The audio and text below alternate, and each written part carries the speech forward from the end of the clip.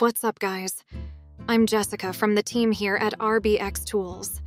Today I'm going to be showing you how to copy games on Roblox in 2024.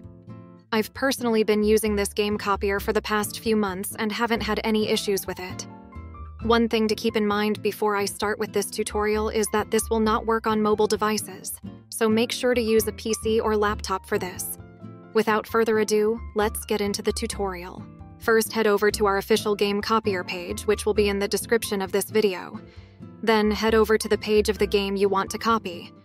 In this tutorial, I'm going to copy Pet Simulator 99. Right-click on the page and press Inspect Element or press Ctrl-Shift-I on your keyboard.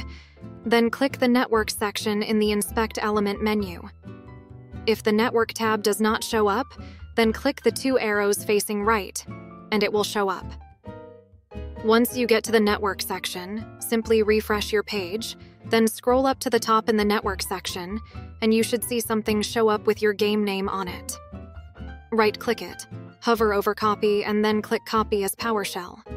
Once you copy that, head over to our game copier page and paste the game code you copied into the box, then click copy game.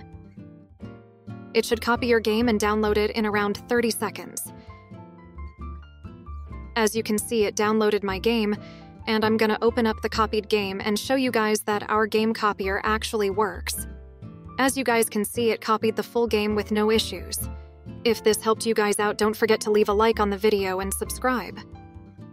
Love you guys.